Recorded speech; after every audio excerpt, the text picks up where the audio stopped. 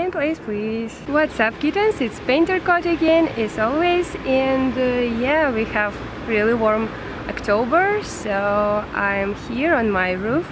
And today I'm so excited because there will be no speed paint. Yeah, no speed paint today. But we're gonna sew today.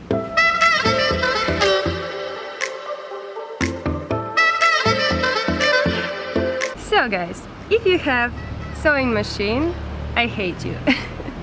I'm kidding, but I don't have sewing machines, so I have to sew everything by my hands. Um, it's a little bit like longer process, but I think I can handle it. And if you have your sewing machine, it will be just like half an hour project for you. And uh, before we get started, I need to buy some supplies for it. So I need to buy. My God, why is so loud when I'm filming? I'm cursed. Okay, uh, but before we get started, I need to buy some supplies. And uh, first supply that I need to buy is uh, fabric for my project and we go to one dollar store today because I want to make this project um, the cheapest of the cheapest you know yes so let's go to one dollar store and we'll see what we can find there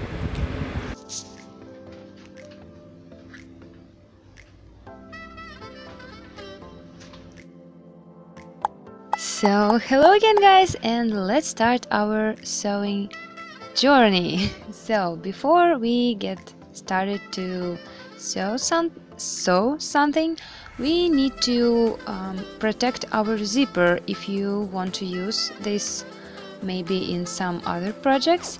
You just need to do some uh, quick stitches in the end and at the beginning of the zipper and uh, yeah it protects your zipper uh, from opening because you know how actually hard to fix the zipper so but if you don't have this uh, kind of problem with the zippers or you don't want to use it just I don't know just throw it away and forget about it but I want to use my zippers because I have to do five toys this time, I have to spend a little bit more time than you.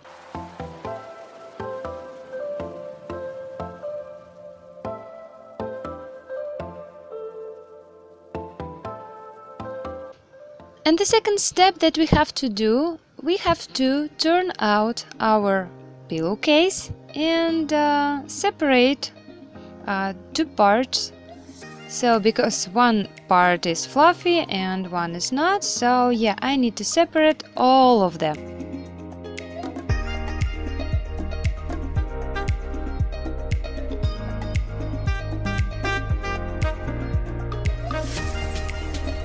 This is all my materials that I want to use this time and you know, it's a lot of work and I'm pretty scared.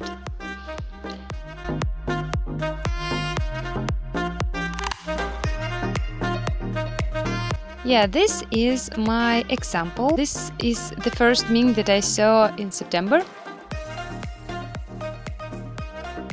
So right now we need to find out our, our details. And I actually mark them on the eye, you know, like I just try to imagine how I want this toy to look like and don't forget about seam allowance because when you stitch something to something um, it will be a little bit mm, smaller than uh, your actual you know detail that you're just cutting from the material uh, because of uh, your sewing. So oh my god it's so hard to explain in english.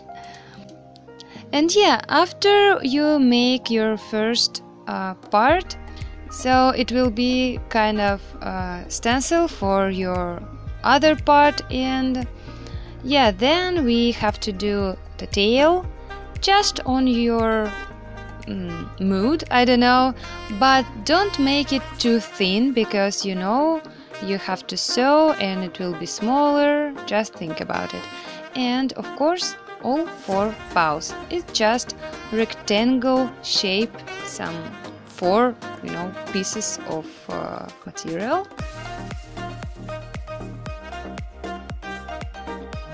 So uh, I don't forget about ears. Don't think so um, we need uh, some leftovers from our fluffy um, textile and we gonna do ears with only this uh, fluffy uh, material because they don't have to be that hard that, than another parts of uh, this toy's body.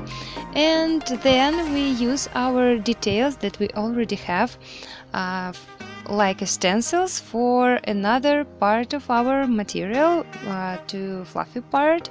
Of course cut them out and please use normal scissors like for textile because I have my little scissors for manicure and it was awful. My um, fingers hurt so bad yeah, my Ming just want to help me or maybe not to help me. I don't actually know, but yeah.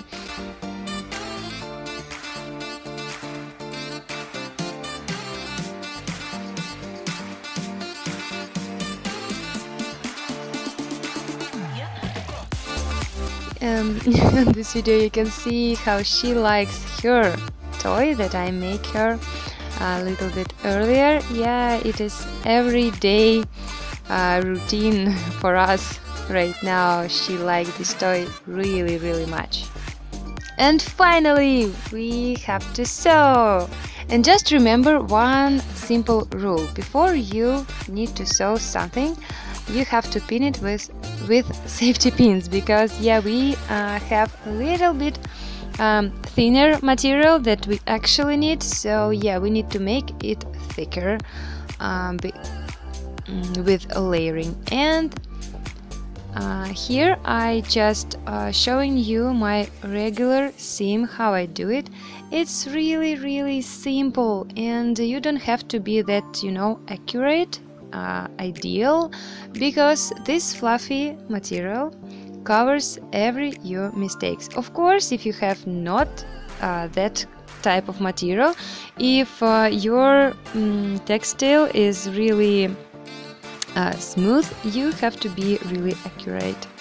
Okay, so right now we making paws and yeah, like uh, with the body, you have to pin them uh, with safety pins and then sewing um, all of them. And of course the same with the tail. Nothing new here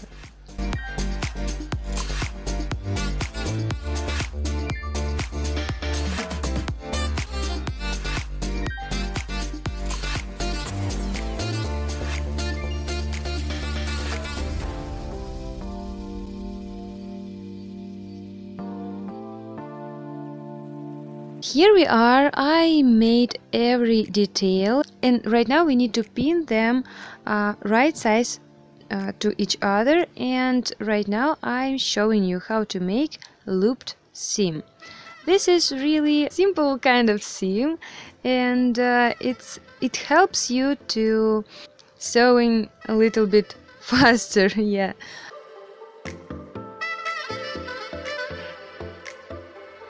So I use this seam uh, to every detail that I need to uh, sew together, like the tail, like uh, two parts of body, like uh, legs, paws.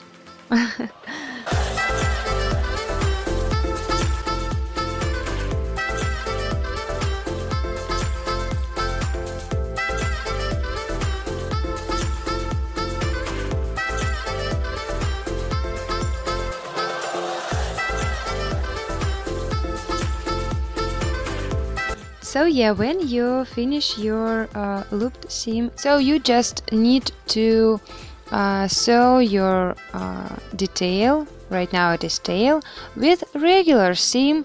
Uh, maybe you have to do two or three layers of regular seam um, because it is pet's toy and it have to be really strong and this is time to turn the tail out. For this detail I use my mm, old uh, brush. It is long enough and yeah you can see in this video how I did it because I can't explain it in English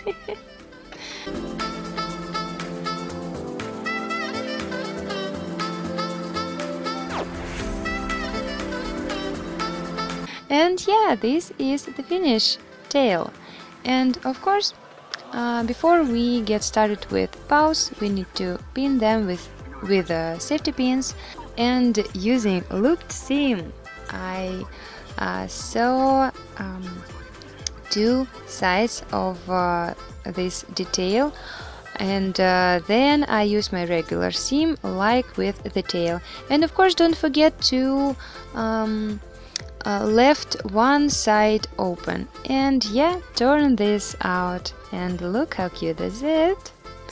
And right now it's time to make some ears. Of course I cut them out. I cut all of them out. It was it was a long process.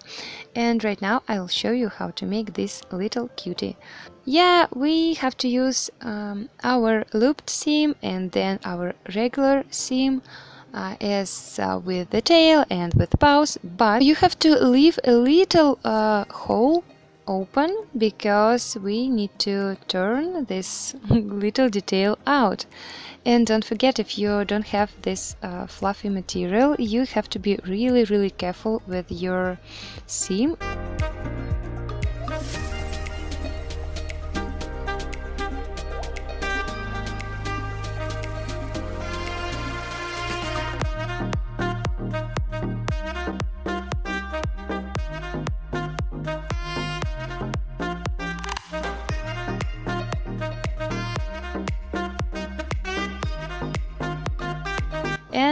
turn this little ear out. And right now we need to cover this hole. Just try to make stitches uh, not that kind of visible right um, not like uh, straight stitches but stitch to the left side to the right side to the left to the right and it will be not like really visible. And yeah this cute little ear is done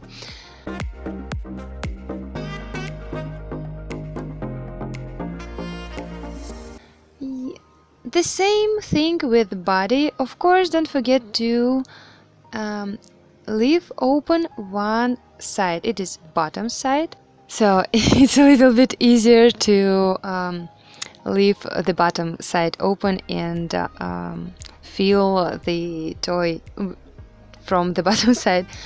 And here is everything that we need to do right now. The first uh, we need to pin our ears to the place that they have to be.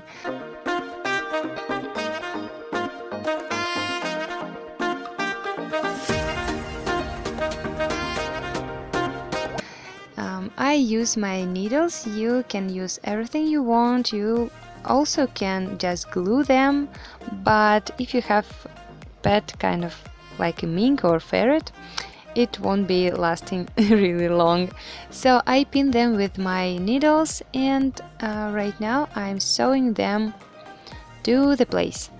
Just using really rough seam. And uh, I make two or three layers of uh, stitches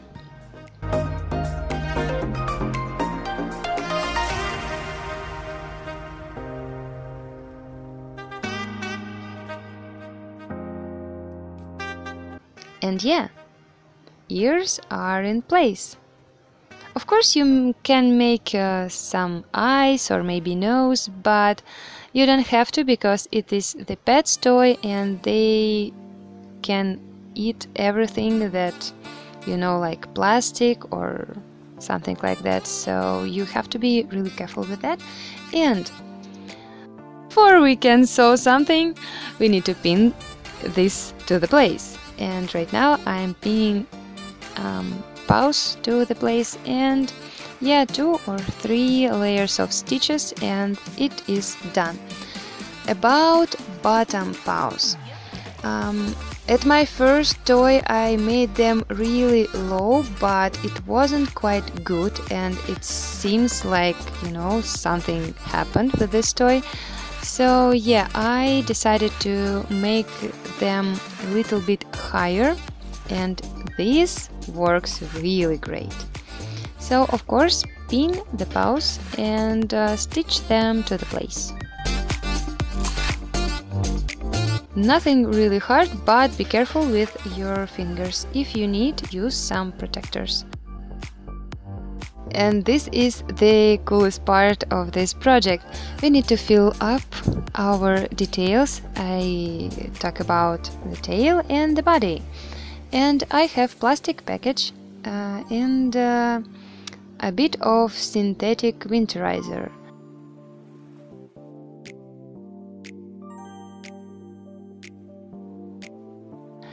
I just roll my winterizer and uh, this little leftover I push to the tip of the tail to make it harder, a little bit harder.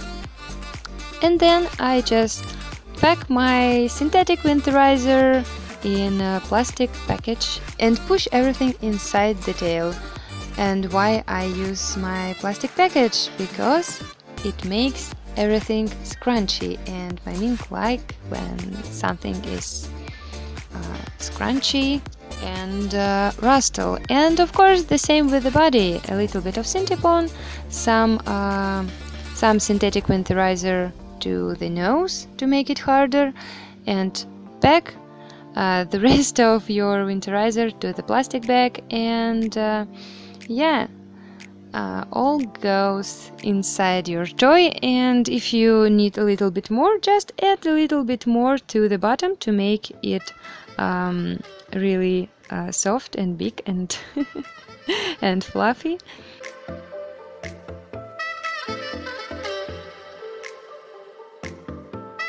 And yeah my little helper just uh, come to me and try to steal ah, try to steal new toys. Oh, such a cute fluff.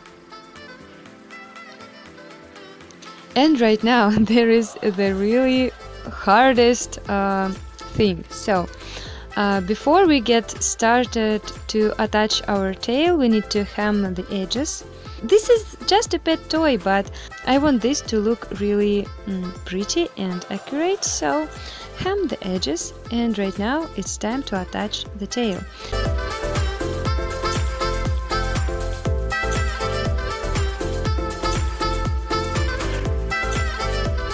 Of course you can use uh, safety pins, but I don't use them. Um, I used them with my first one, but it came um, not quite good. I don't know why, maybe it's not like...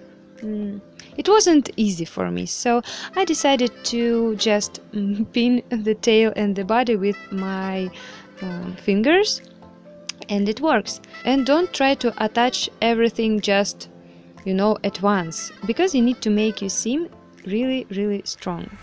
And um, yeah, uh, when you uh, sew uh, one third, you have to um, be sure that it is really strong so make uh, one or two layers of stitches there and then just um, cover everything with stitches.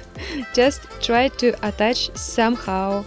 I, I don't know how to explain that but you know when you start when you start sewing you just realize how to do that um, you know in the best way so I wish you luck guys with this part. Maybe someday I'll decide to make another one tutorial and there will be a little bit easier thing but right now I can't explain it like really because how to explain that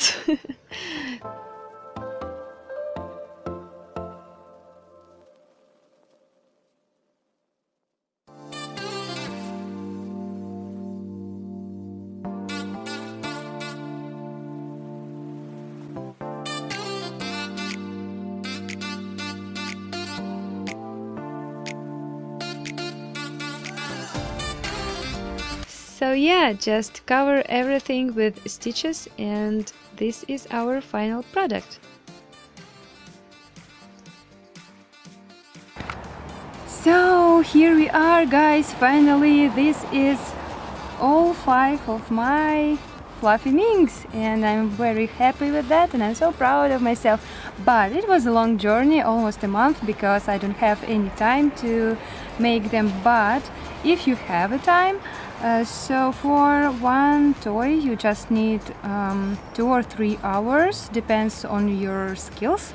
And if you have a sewing machine of course I hate you but uh, it takes you just half an hour for one fluffy long something. So yeah I hope you like this video. It was interesting and useful. And yeah this uh, fabric is not really you know like good for everyday use but if it's just a, a simple present for somebody who have mink or ferret is really good and really cheap.